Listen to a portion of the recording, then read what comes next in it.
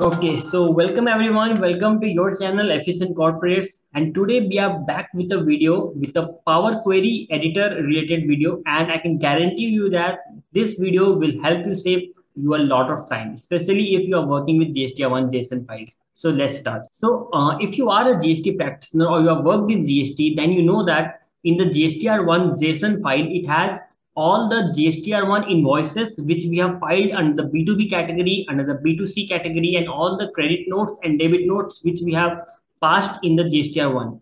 But it becomes very hectic to convert that JSON file into an Excel. And moreover, when you have a monthly JSON file for multiple GSTINs, it's a nightmare to convert all those manually one by one into an Excel file.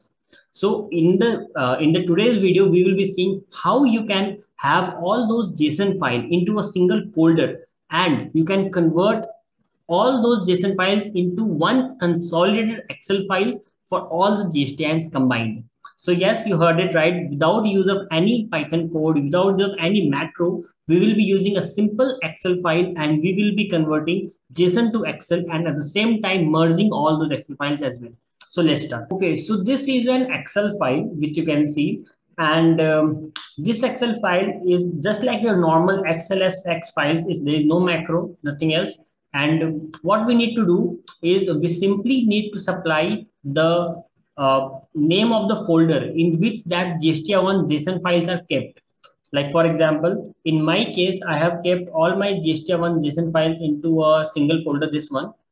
I'll do the test too and these are the five uh, json files so uh, json files can be any you can you can have like 15 20 100 200 json files of multiple clients as well it's not that you need to have a of single client so all these json files have been kept into this single uh, folder so I'll just give the name of this folder, uh, which is test2.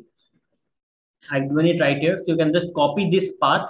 So as a path copy kar sakte control C by pressing to this and uh, in this cell C10. In the C10, you have to like copy paste and press enter. Okay. So one thing which you need to make sure before you use this tool is that uh, the name of the file should be GSTIN, the 15 digit GSTIN underscore the mm yyyyy. So basically two digits for month and four digits for y uh, so for the year so this is mandatory you cannot have like 4 and 2021 you have to write 04 okay because जो आपका month लेता है ये the file takes from your file name so you have to be very accurate of which month G S T one is this and after this you can have any other details like R one and all those things which you ever you want to write I just need that initial fifteen digits and the letter on six digits this should be in order and step one, we have done the step one, enter the folder path. Step two is go to the seat main dashboard. And refresh the pivot table as simple as it sounds. You have this pivot table and I will just press refresh. So when you are using it for the first time, it might be that uh, it uh, may take some time waiting for the query to be executed, connecting to the database source. So these uh, things might take uh, like a bit longer. But uh, once the connection is established, then yeah, they definitely can uh, use this very easily and it won't take much time. Okay so uh, what uh, i'll just explain you a bit of dashboard what uh, it looks like. So agar aapke paas multiple gstns GSTR1 json aapne dala in that folder. So what happens? It will list those all those gstins over here in the same way fiscal year. Because the gstr1 period is is the calendar year like january to december. But if you want for a particular financial year then you can have this slicer being used for the financial year.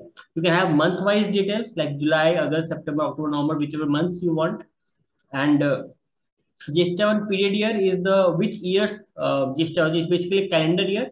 And uh, seat name is basically the three types of seat which we have, which is B2B, B2Cs, and CDNRs. Now it has been loaded, and now yeah, you will see the the the data has been loaded into it, and now uh, the table is updated. Now, if you need, now uh, I have said that it will consolidate all the invoices. So what about those invoices? Where can we get all the invoices details? So since it's a pivot table, you can simply click on the totals column. Like if you want for the July, you can click on July. But if you want for total consolidated, then you can click on this, double click on uh, the taxable value and you get this complete pivot table uh, which has all your months GST1 combined, like July, August, September, October, November, all everything is combined. It has your final invoice uh, value, date, invoice number, place of supply, reverse charge, whatever fields GST1 has, all those fields it has. Also the seat name, B2B, B2CS. The B2CS works like this. There's no invoice number. It simply has place of supply and uh, taxable value and rate, as you all know. And CDNR will have all the credit note details and debit note details, all these things. So in this way, you can just simply double click and you can have this. I'll let me delete. I'll let me show you again uh, by clicking on some different files. Now let's do the test one. It has some more uh, GST1 files. What I'll do, I'll do one thing. I'll uh, combine these test two files. I'll copy this and I will keep it over here as well. I think it's the same same GSTINs. Let me do for some different GSTINs. Oh, these are some heavy files. I'll do Control C. I'll keep like all those files into a single folder, uh, multiple GSTINs as well. And now I'll click on this folder link, go to the write-up, go to uh, this C10 and enter the path. Simply enter the path, press enter, go to the main dashboard and right click and refresh. Now it will again take some time, but now we have two GSTINs. So we should have two GSTINs name over here. Month will be different and uh, fiscal year may or may not be different. So let's see. So it is connecting to the data source. It will convert all those uh, JSON into uh, the Excel files and also combine it. So currently uh, this uh, dashboard, this Excel file will be available in the link given in the description. You can go and that's a Google Drive link. You can download the file into your system and you can then start using it. So look, within like within a minute, it uh, read all those JSON files and it gave me the figures.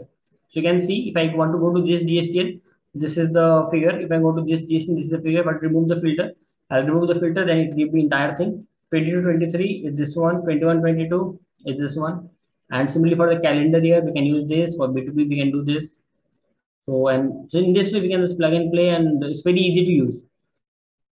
So this is how you can use this very simple GSTR1 JSON to Excel converter without any plugin, any software, any application, and without any limit. If I uh, double click to this uh, taxable value, you can see it's a big amount, and you can see number of rows. It has no limit. There are like 15,000 rows.